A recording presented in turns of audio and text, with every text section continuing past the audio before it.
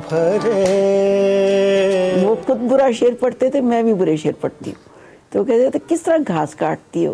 मुलाजमीन या मातहत वो अपने बच्चा समझते तमाम हमारे जो तरकीब पसंद और कम्युनिस्ट दोस्त थे हमारे घर का रास्ता भूल गए थे जब वो रावलपिंडी साजिश केस में थे। हमारा उनका रिश्ता बेतकल्लुफी का रिश्ता नहीं था। जुमे के नमाज़ का खुतबा उन्होंने दिया था फैज अहमद फैज जिन्हों में जितनी भी गुजरी देखिए इतवार शाम पाँच बजकर पाँच मिनट आरोप सिर्फ़ एक्सप्रेस न्यूज़ पर।